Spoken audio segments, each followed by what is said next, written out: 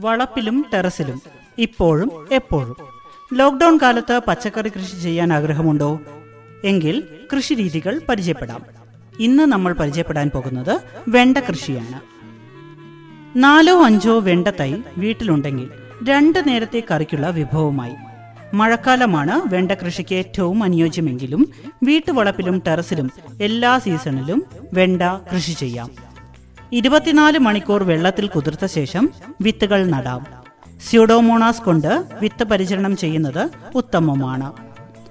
Terrace കൃഷിയിൽ നടീൽ മിശ്രിതം മുക്കാൽ ഭാഗത്തോളം നിറച്ച ഗ്രോ ബാഗിലാണ് വിത്തുകൾ നടേണ്ടത്. നിലത്താണെങ്കിൽ നന്നായി കാലിവളമോ കമ്പോസ്റ്റോ അടിവളമായി ചേർക്കണം.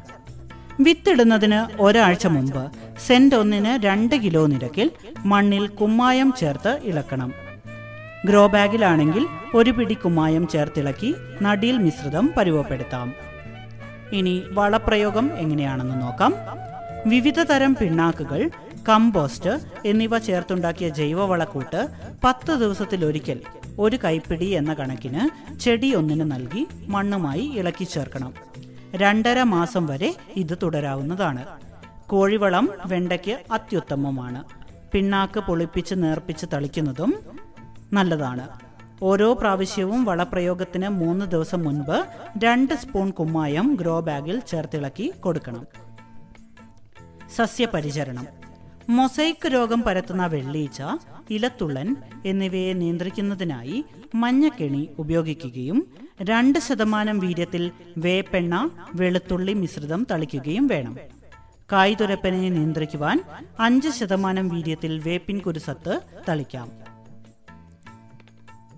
പ്രധാനപ്പെട്ട വിത്തിനങ്ങൾ സൽകീർത്തി. അത്യുൽപാദന ശേഷിയുള്ള ഒരു ഇനമാണ് സൽകീർത്തി വിത്ത്. അരുണ ചുവപ്പ് നിറമുള്ള കായ്കൾ തരുന്ന വേണ്ട ഇനമാണ് അരുണ. സുസ്ഥിര മൊസൈക്ക് രോഗത്തിനെതിരെ പ്രതിരോധ ശേഷിയുള്ള ഇനമാണ് സുസ്ഥിര. അർക്ക അനാമിക പച്ച നിറമുള്ള നീണ്ട കായ്കൾ തരുന്ന ഇനമാണ് അർക്ക അനാമിക.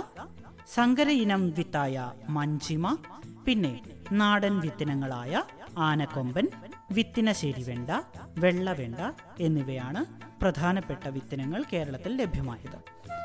പിന്നെ വിത്തുകൾ ലഭിക്കുന്നതിനായി കേരള കാർഷിക സർവകലാശാല കൃഷി വകുപ്പിന്റെ ഫാമുകൾ കാർഷിക college Vellayani V F P C K കേന്ദ്രങ്ങൾ അമ്പലവയൽ കൃഷി വിജ്ഞാന കേന്ദ്രം എന്നിവയെ സമീപിക്കാവുന്നതാണ്.